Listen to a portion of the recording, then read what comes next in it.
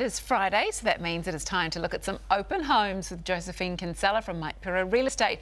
Josephine, what have you got up for grabs for us today? Okay, so today we decided we'd look at investments around the country, and particularly we wanted to focus on properties under 400,000 or at least under 500,000. So we've got quite a selection, and typically we're looking at a return of, if you were to tenant it or it's already got tenants in, around about 5% return. So that's better than having it in the bank then? It beats the term Pretty deposit. much. Yep. So let's start in Wellsford then. Okay, so Wellsford, um, Te Hana, it's a lovely spot just out of Wellsford, and of course, with development in Wellsford is going is skyrocketing with the new roadway coming in um, just uh, in between Mangawhai and um, just after Wellsford. Yeah. So this is a really good investment opportunity. Three bedrooms, advertised as three hundred forty-five thousand. You've actually got a, a owner here that is prepared to stay on and rent this for two years.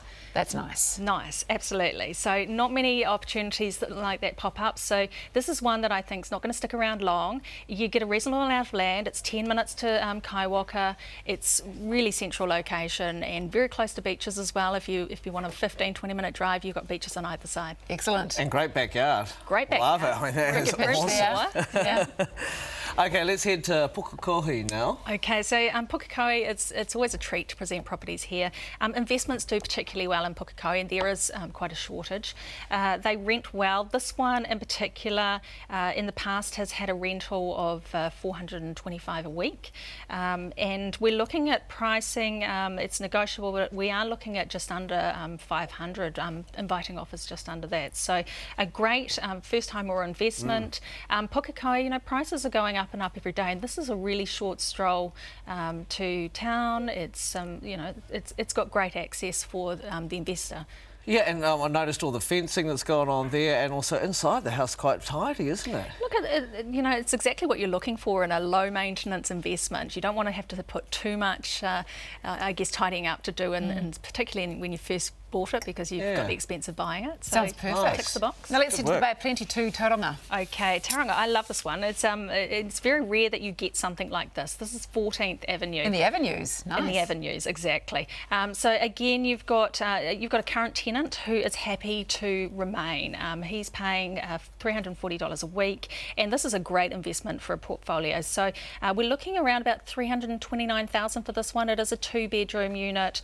Um, it's uh, got no body corp fees, very low maintenance, and a great long-term tenant. So and very central to Tauranga. I guess the thing is uh, with an investment property is if you don't have enough money to get into the market to buy your own home, you can invest in these, you sit on it for a few years, see what happens, and then you can use the money you've made to get yourself into a new home. So a really good starting point for people. Great starting point, absolutely. Nice work. Okay, Lower Hutt is where we're off to next. Okay, so Lower Hutt, um, this is Taita. Taita, uh, we're offering um, by negotiation. We're probably looking at the mid threes here. Um, it is a two bedroom house and it's a great starter. It is really tidy. Um, so with two bedrooms, generous living, it's got great indoor outdoor flow and it's got that really home home feel about it. So it would make a really good either a first home or an investment. And Lower Hutt is a big growth area in Wellington. Nice. Oh, I like, that's a nice looking deck out the I back know, with there. the classic conservatory and the and extra the studio. space. Yeah, that's yeah, fantastic. Which, um, you know, you can't actually rent that separately, but it's a great add-on. yeah, yeah, Yeah. good for the kids to have their own room, a bit of peace and quiet. and finally, let's head to Christchurch. Okay, so Waltham. Um, Waltham is, um, this is just a beautifully tidy property. We have, again, a two-bedroom property, and it is under the $400,000 uh, mark. So 370 gets you this two-bedroom property, and it is immaculate. Kitchen looks great. Kitchen's great, and you've got a tenant here who, again, is a long-term tenant. They look after it better than um, if, as if they owned it themselves. Um, so this is a really good opportunity to have a freehold title here.